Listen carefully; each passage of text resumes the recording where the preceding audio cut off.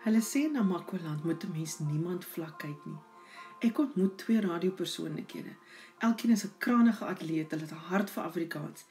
En sal julle my glo as ek vir julle sê, ek het Holberry vlot oor Afrikaans praat. My naam is Robin Sols. Ek is van Concordia in Namakwaland en ek is 'n radio-omroeper by Lara FM, 'n uh, plaaslike kommersiële radiostasie, uh, en ons fokus op Afrikaans. Ja, Afrikaans is vir my een van die tale wat ek mee groot geraak het en ek voel dat Afrikaans het 'n toekoms en veral in plekke soos in die Noord-Kaap waar jy definitief nog uh, Afrikaans kry wat uh, jy seker ook kry wat net in Afrikaans gesê kan word. Ons het nou gepraat van klets. Jy weet hoe sê jy klets in Engels of 'n ander woord is in Engels. Daar's hierdie pragtige plekkies wat jy kry uh die die die plekke soos waar jy deur ry.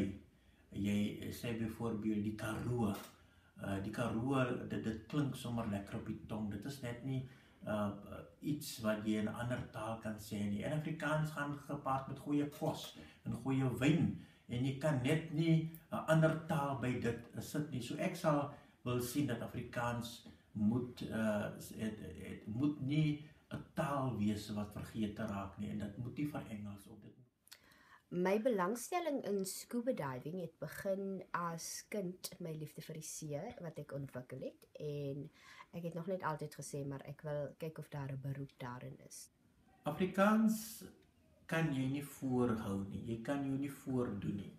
Want Afrikaans het 'n uh, aanslag wat ek wil amper sê dis op jou voorkop geskryf. En wanneer jy jouself gaan voorhou dat jy 'n ander dinamika en 'n ander identiteit vir jouself kry met 'n taal verbind, dan dink ek dit gaan en wat ek ervaar is jy gee jouself weg. Jy gee jouself voor en mense kan agterkom, maar hierdie twee werk nie met mekaar nie. Afrikaans en voorhou nie, want Afrikaans is 'n oorspronklike uh taal. Die fliek Dark Tide waarin Halle Berry speel, gaan oor scuba diving. Natuurlik al hulle toerusting by 'n scuba winkel ge gekoop in in in die Kaap.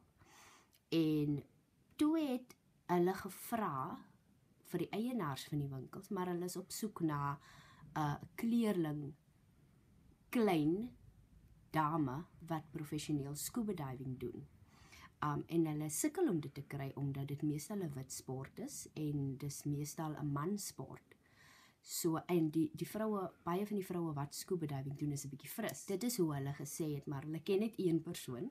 Die persoon werk by Orca Industries. Dit is baie baie baie opwindend geweest.